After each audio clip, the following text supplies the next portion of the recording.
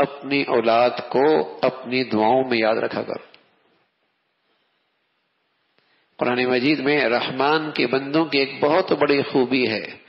रब्बना हबलना मिन अजवाजिना वजुर्रियातिना कुर्रत आयुन।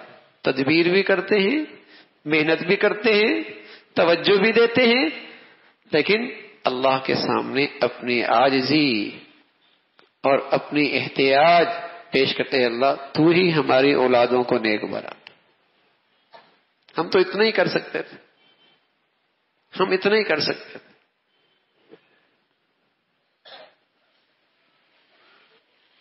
कि एहतमाम के साथ अल्लाह के सामने गिड़गिड़ाए। अपना मुहासबा ज़रूर हो। अपना मुहासबा ज़रूर हो। इसलिए कि गुनाह की एक दुनिया में नकद सजा यह है। गुनाह की दुनिया में एक नकद सजा यह है कि उसके मातहत नाफरमान होने लगते हैं।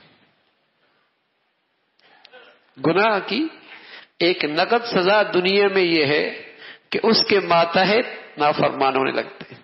ये शिकायत तो है कि बीवी नहीं सुनती, लेकिन थोड़ा सा आदमी जायजा ले ले, मैं भी अल्लाह की सुनता हूँ।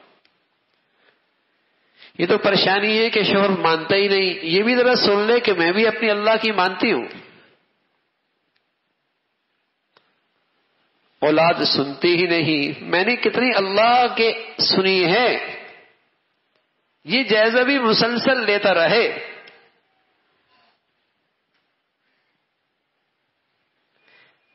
हाँ फिर सब कुछ करने के बाद फिर अपनी आजिजी अल्लाह के सामने पेश कर दे।